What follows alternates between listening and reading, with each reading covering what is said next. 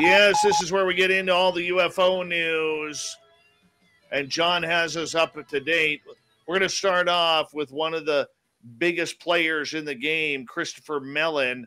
Worked for three different presidents, was a high player in the To the Stars Academy, now working with Luis Elizondo in spreading the love around the world about how real UAP are. What's new with Mr. Mellon? He's been pretty silent the last couple of months. Jon? Well, you know this. Well, first off, greetings everyone. Thanks for sticking around. Uh, yeah, so I mean, Christopher Mellon is playing this wonderful role now, which I absolutely adore. Uh, you know, I'd love to play the same role someday, where he just, you know, uh, he's this elder statesman, sits on high, and when he sees an opportunity to inject something wise or or thoughtful or, or knowledgeable, he just swoops down and you know blows it up, and it's it's it's fun because you don't hear from him very often, but when you do, his words have weight. You know and um and basically it's a, it's a good blog post. I mean I, i'll include it in my notes. Everyone should go and read it. But essentially the nut of what he's saying which i i have to say i totally agree with is that that even if the um which i understand it has though i, I need to get confirmation uh, uh confirmation on this um i assuming that that the, the the more verbose language that we saw in the house bill uh, is the one that that survives the the merging and, and and gets signed by the president he said, you know, even if we get all of that, which, you know, me personally, you know, I look at those five, you know, those five pages and I'm like, hey, this is, you know, especially the stuff about like medical effects. I was pretty excited, you know. And he's saying this isn't good enough. And you guys shouldn't be satisfied by this because what they're really doing is they're they're adding work to an already understaffed and underpowered unit of people, whether it's the the task force or whether it's a unit within the Secretary of Defense, it's still going to be this subservient unit that essentially is is going to have a lot of the same limitations and a lot of the same challenges. And so what he's arguing for is that it get elevated to a much higher office, and you essentially have a you know um, you know you know probably a you know a, a, multi-star admiral or multi-star general essentially running the show where you know they they have equal sitting you know between the different groups and actually have some real authority have their own you know he, he suggests you know um, you know possibly bringing it into another organization that already exists so that you already have staff and resources. He's not saying it has to be sprung up from nothing but he wants it to be a, its own you know its own functional organization. And while i you know, he knows far better than I do how realistic that is. I have no idea what the appetite is within the Department of Defense to have something like that exist. But the sentiment and the, the logic behind what he's saying, I completely agree with. I think he makes a really good point. I'm very curious about this because Chris Mellon has made it very known that he only speaks when he needs to speak. He's not like Lou Elizondo, who has volunteered his time to go on every news station and, and podcast out there. He has been very, very stoic with who he chooses to speak with, namely mainstream media outlets to uh, very high end radio shows. Never mind, you know, he hasn't been interested in getting into and running the, the podcast gamut of the UFO world. Why, after a couple of months, do you think he's coming out about this? It's for the very reason you just stated, Dave. Essentially, what you have here is you have a tag team. You have uh, it's very much like a you know in, in what I consider a proper company. You you have a you have a president and you and you have a, a CEO, and the CEO talks up and out to the board and to the, the shareholders and to the customers, and the president talks. I hate to use the word down, but down to and runs the actual you know day to day organization. What you have is you have Lou who speaks you know, to the masses. And then you have Mellon that speaks up to essentially Congress and to the White House. And so I think many of, of what many of the of the of the pieces that he writes are we're just reading it because we get to. It's not addressed to any of us. He's writing that to the you know Senate Arms Committee. He's writing that to the president. He's writing that to the stakeholders. He's writing that to the people who actually hold the purse strings and who can actually make it happen. Well, eh, the fact is, he has done a very good job at making his point known and using the mainstream media as the conduit to getting things done. He realizes that if he speaks now, the media and the mainstream is going to listen. They're not going to poo poo the subject the way they did normally previous to four years ago. So and I, and it doesn't keep him from going out on a limb once in a while. He just does it very infrequently. I mean, the last time he came out and I think he was talking with um uh oh man, I can't remember who he was talking with. I think it was uh, you know, I don't want to say I could be wrong, but you know, there have been a couple of times where he's gone out and talked, and I've been really surprised by some of the stuff he said. Right, he's really kind of gone out a little further than I expected him to. But once again, as you just stated, he does it very infrequently. He does it very carefully. He does it very methodically, and and his words have weight. Very true. All right, let's move on to the next subject. We talked a little bit about it with Thomas Fessler earlier on but this rubber ducky video is really catching on around the UFO world. Luis Elizondo has come out and and claimed that it is 100% real and that it's a video that we need to pay attention to. What's your thoughts? So, um, just you know, as a fan of Sesame Street, I'm just personally, I'm just really enjoying the rubber ducky theme. You know, I just I just really getting a kick out of it. Um, that's my favorite part of the whole story. Um, you know, what it comes down to is so there's good and bad in this, right? Um, in, in, one case, we have uh, we have another person who's unfortunately um, really uh, drummed up a whole lot of passion and um, excitement about something that for most people is going to actually be a little lackluster and and that that's a bad habit we all need to get in get out of right? We, we need to stop doing that to people because it it makes people gun shy. It gives them ptsd over over you know news in, in this in this world. So it, that, that was an unfortunate unfortunate occurrence. It was good that it didn't come this time from jeremy corbell um, and so it shows that Jeremy's not the only one who's overhyping things, that there might be just a very human tendency to overhype something that you know you are the sole possession of and, and that you know you're going to release it and it's hard not to get excited. And so you know maybe this means jeremy deserves a little more a little more legroom.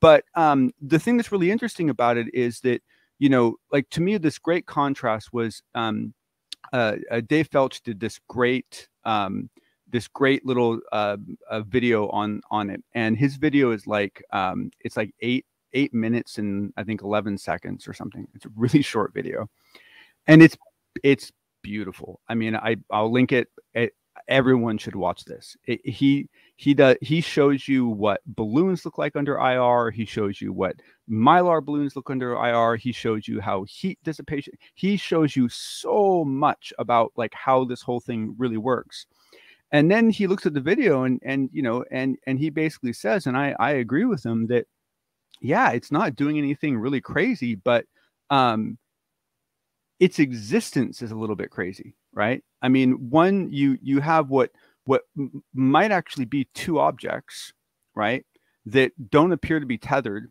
and and appear to be operating in sync and and and he thinks there's a good chance that's what's going on and if that's the case that's that's super interesting. But what he really points out is that you know when you look at the color scheme that gets put out by the ir the fact that you know the colors that you get are based on what you set to right? So you're you're looking for you know if you're looking for humans you set for human temperature and then you you you basically get hotter and colder on on either side of that temperature right? And this is an object that um, consistently has no heat. I mean, this thing is just completely evacuated of any of any heat at all, and it shows no temperature variation at all, and it shows no temperature variation around the object in any way, shape, or form. So there's no indication of how on earth the thing's moving. Now, is it filmed in a location that is um, common for drug running? Yes, of course. Um, you know, it, uh, is it possible that someone's come up with drone technology that can do this? It's not going very fast. It's not very high up. Um, it's even the, the time that it because it, it's nice that it's a long video, right? Um, but even the time that it's going, we have drones that can go that that long. So none of that stuff. It's certainly none of the five observables.